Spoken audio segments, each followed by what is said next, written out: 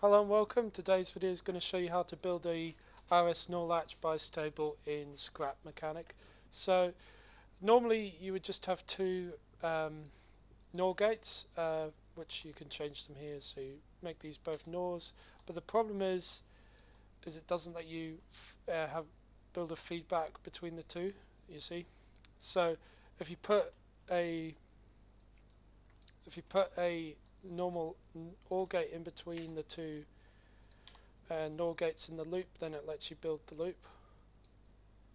Um, so what it does is means you can press a button and it will open a door and then you press another button and it will close the door. So you connect the buttons to sorry um, yep to the to the NOR gates there like that. And then when you press a button will latch one side and then when you press the other button it will latch the other side. The problem is if you press a button too quickly it will flicker so you just have to press it for a tiny bit longer which isn't a problem. Um, so yeah that's everything, thank you.